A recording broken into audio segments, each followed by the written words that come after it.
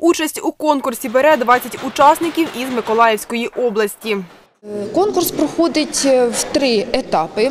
Перший етап це на рівні навчального закладу, де е, відповідає за проведення, е, розробку завдань, проведення практичного туру безпосередньо сам навчальний заклад. Переможці першого етапу вже є учасниками другого обласного етапу конкурсу. Учні виконують завдання за двома е, турами. Перший тур це теоретичний. Вони показують свої знання вже набуті у ході підготовки. Е, З 60 питань 4, 4 варіанти відповіді їм пропонують, і одна з них тільки вірна.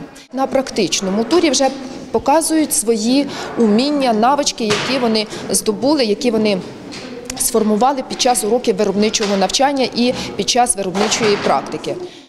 Теоретичний тур тривав одну годину. Для приготування страв відведено три години. На майданчиках за учасниками спостерігають журі та консультанти. Ми будемо оцінювати ну, всі фактори.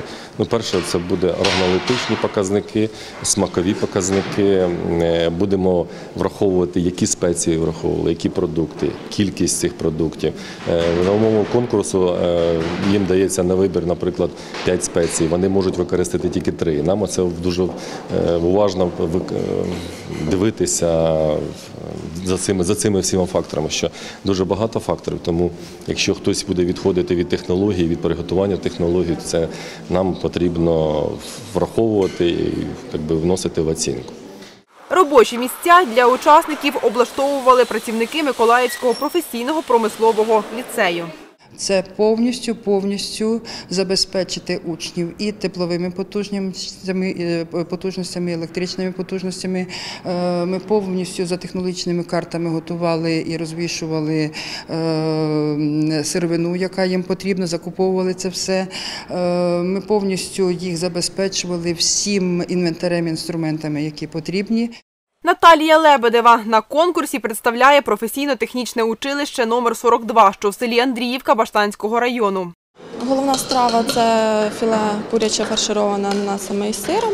А кожному конкурсанту потрібно було самому скласти складний гарнір і до нього технологічну картку. Ми сюди приїхали, просто нам дали перелік продуктів, з яких ми можемо приготувати цей складний гарнір.